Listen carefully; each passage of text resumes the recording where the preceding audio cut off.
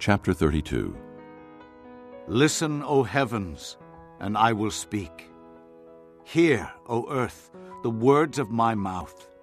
Let my teaching fall like rain, and my words descend like dew, like showers on new grass, like abundant rain on tender plants.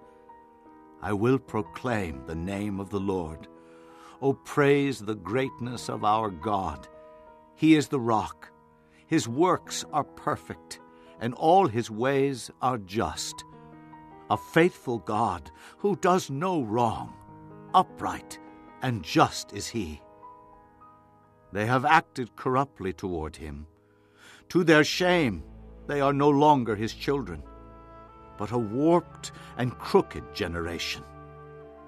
Is this the way you repay the Lord, O foolish and unwise people?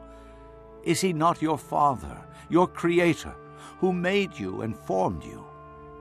Remember the days of old. Consider the generations long past. Ask your father, and he will tell you. Your elders, and they will explain to you. When the Most High gave the nations their inheritance, when he divided all mankind, he set up boundaries for the peoples according to the number of the sons of Israel. For the Lord's portion is his people Jacob his allotted inheritance. In a desert land he found him, in a barren and howling waste. He shielded him and cared for him. He guarded him as the apple of his eye, like an eagle that stirs up its nest and hovers over its young, that spreads its wings to catch them and carries them on its pinions. The Lord alone led him no foreign god was with him. He made him ride on the heights of the land and fed him with the fruit of the fields. He nourished him with honey from the rock and with oil from the flinty crag, with curds and milk from herd and flock, and with fattened lambs and goats, with choice rams of Bashan, and the finest kernels of wheat. You drank the foaming blood of the grape. Jeshurun grew fat and kicked. Filled with food, he became heavy and sleek. He abandoned the God who made him and rejected the rock, his Savior. They made him jealous with their foreign gods and angered him with their detestable idols. They sacrificed to demons, which are not God. Gods they had not known gods that recently appeared, gods your fathers did not fear. You deserted the rock who fathered you. You forgot the God who gave you birth. The Lord saw this and rejected them because he was angered by his sons and daughters. I will hide my face from them, he said, and see what their end will be. For they are a perverse generation, children who are unfaithful. They made me jealous by what is no God, and angered me with their worthless idols. I will make them envious by those who are not a people. I will make them angry by a nation that has no understanding. For a fire has been kindled by my wrath, one that burns to the realm of death below. It will devour the earth and its harvests, and set afire the foundations of the mountains. I will heap calamities upon them, and spend my arrows against them. I will send wasting famine against them, consuming pestilence and deadly plague. I will send against them the fangs of wild beasts, the venom of vipers that glide in the dust. In the street, the sword will make them childless. In their homes, terror will reign. Young men and young women will perish, infants and gray haired men. I said I would scatter them and blot out their memory from mankind, but I dreaded the taunt of the enemy, lest the adversary misunderstand and say, Our hand has triumphed. The Lord has not done all this. They are a nation without sense.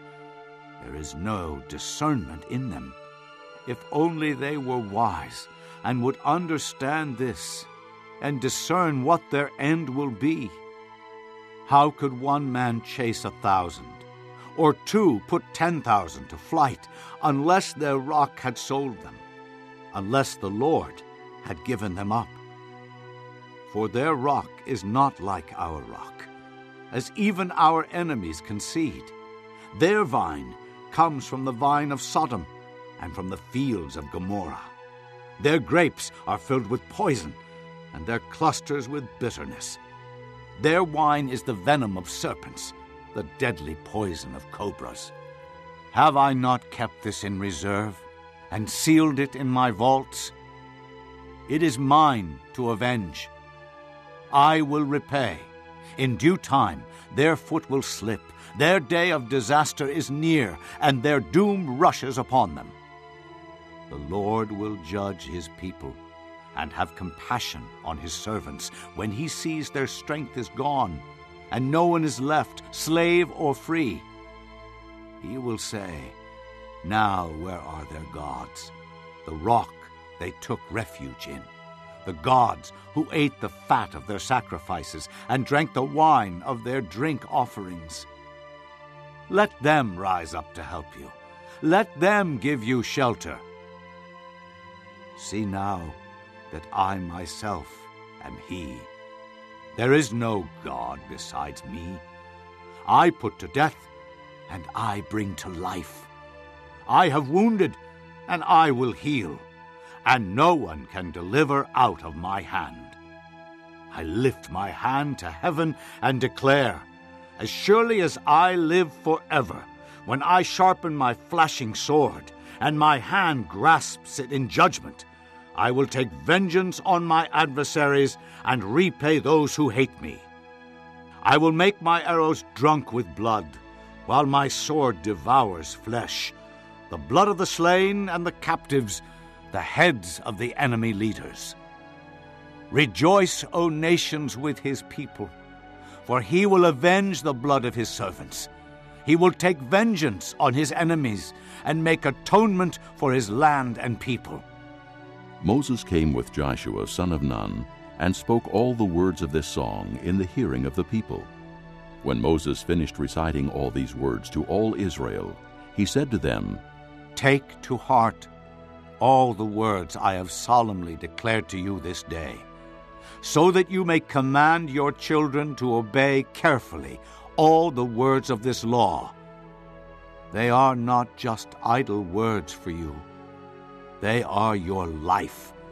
By them you will live long in the land you are crossing the Jordan to possess. On that same day, the Lord told Moses, Go up into the Abarim range to Mount Nebo in Moab, across from Jericho, and view Canaan, the land I am giving the Israelites as their own possession. There on the mountain that you have climbed, you will die and be gathered to your people just as your brother Aaron died on Mount Hor and was gathered to his people.